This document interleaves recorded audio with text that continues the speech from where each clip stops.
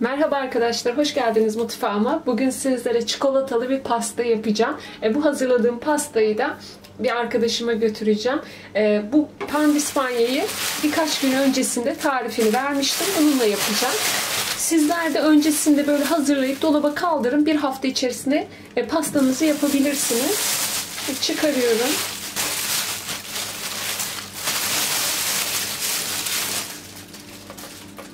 Ocağımın başına geçin. Ganajı hazırlayacağım. Bir ganaj hazırlayacağım. O ganajın yarısını ayırarak bir de arasına sürmek için krema yapacağım. Yani çikolata ve kremayla tüm pastayı tamamlayacağım. Hemen ocağımın başına geçip başlıyorum. Derince bir tencereyi ocağıma alıyorum. İçerisine 250 gram kremayı boşaltıyorum. Ben 2 paket aldım. Yani 400 gram, 200 gramlıklardan 2 tane aldım. Diğer kalan kremayı da daha sonrasında kullanacağım. 250 gram ne kadar yapıyor derseniz bir su bardağı yani 200 milimlik bardaklarla bir su bardağı bir de çeyrek koyduğunuz zaman 250 gram oluyor. Altını yakıyorum. Ocağın altını orta ateşe getiriyorum. Krema tam böyle kaynamaya başlarken ocaktan alacağım. Sakın tam anlamıyla kaynatmayın. Sürekli karıştırıyorum. Kenarlardan kaynamaya başlıyor zaten anlarsınız. Tamamdır artık. Gördüğünüz gibi kenarlardan kaynamaya başladı. Kapatıyorum. Ee, hemen ısındı deyip de kapatmayın altını. Bu sefer içerisinde çikolatalarınız erimez. Ona dikkat edin. İyice ısındı. Dumanlar çıkıyor. İçerisine 250 gram bitter çikolata ekliyorum kremayla çikolatayı eriteceğim.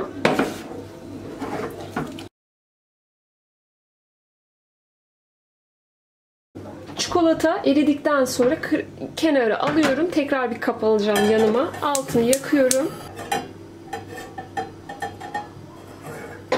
Yerinde durmuyor. Şöyle bırakayım.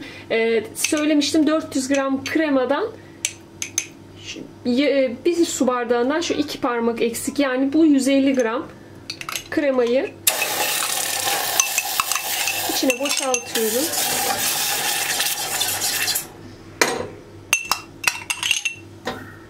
Toplamda 400 gram kullanmış oldum.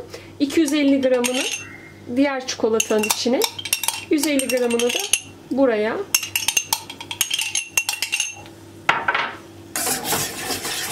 Böyle daha tasarruflu oluyor. Hem de iki çeşit krema çıkarıyorum. Hem ganaj hem de arası için krema.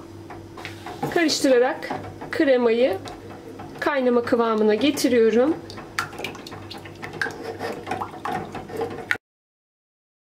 Krema kaynamaya başlayınca altını kapattım. Hazırladığım ganajın dörtte ikisini yani yarısını içerisine boşaltıyorum.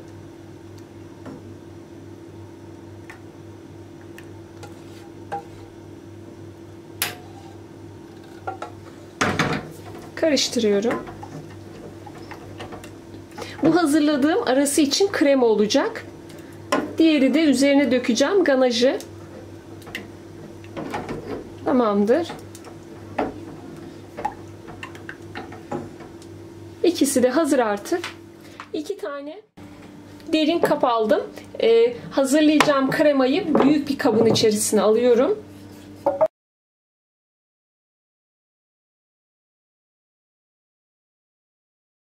Bunu kenara alıyorum. Şimdi ganajı boşaltacağım. Ganajı çırpmayacağımız için küçük bir kaba alabilirim.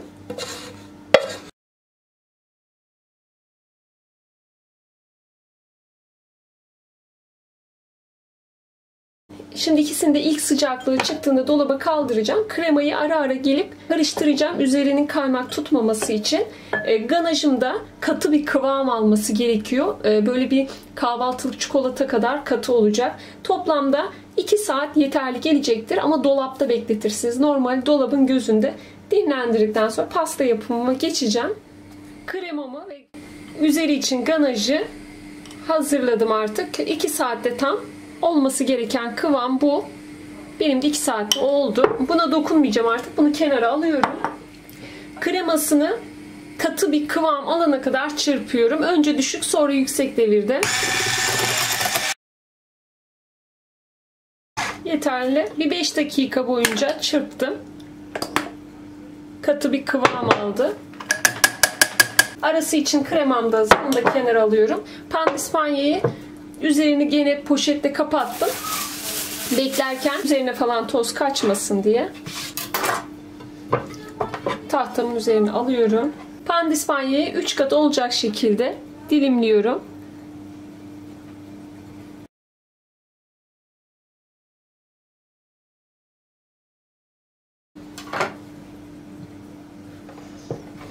Bir katı altını kenara alıyorum. Buna da tekrar bir kat daha.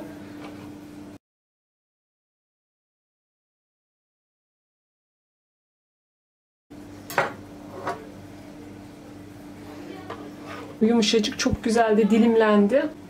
Pandispanyanın katlarını şöyle tabağın üzerine alacağım. Ufalanması gayet normal. Bu pandispanyanın yumuşak olmasından dolayı. Öncelikle en alt tabanı oturtturuyorum. Kremanın yarısını bu katına sürüyorum.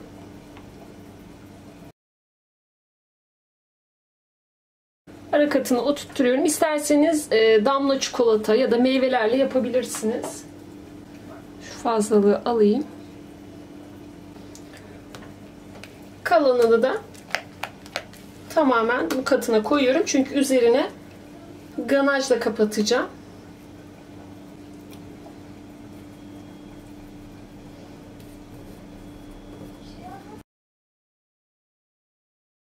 Artık en üstü kapatarak bitiriyorum. Kenarlardaki fazlalığı kapatayım. Ganajla üzerini ve kenarlarını kaplayacağım. Bir iki yemek kaşığı kadar ayıracağım. Üzerini süslemek için. Bu kadar yeterli.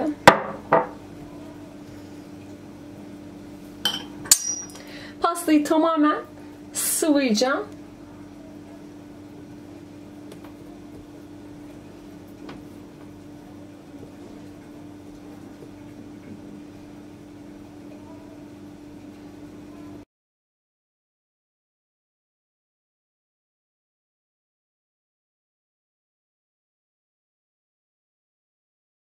tamamen pastayı kapladım. Şimdi artık e, pastayı servis tabağına alacağım. İnşallah başarılı bir şekilde alırım.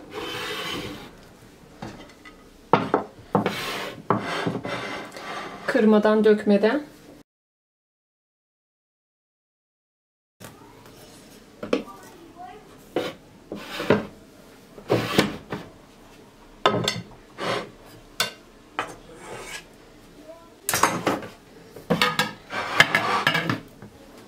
Servis tabağına aldım artık. Allah'a şükür dökmeden saçmadan koyabildim. Şimdi artık ayırdığım ganajla üzerini süsleyeceğim.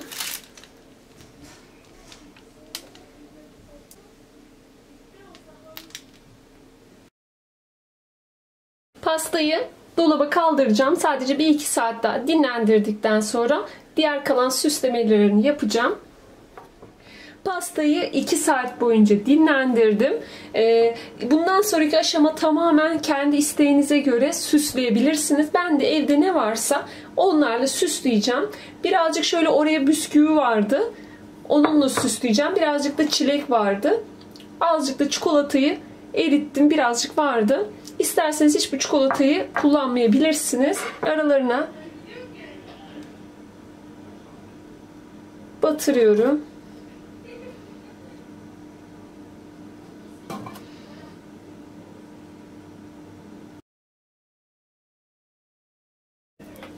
Çileği çikolataya batıracağım. Kaşıkla süreceğim. Daha iyi olur. Çikolatam donmuş artık beklemekten. Ondan dolayı zor sürülüyor. Eğer ki tekrar eritirsem çikolatam bozulabilir.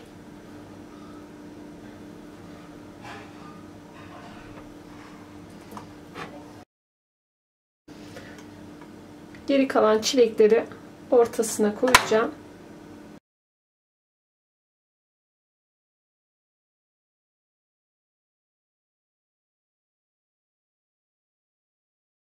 Pastayı tamamen süsledim. Sizler de nasıl hayal ediyorsanız pastanızı o şekilde süsleyebilirsiniz.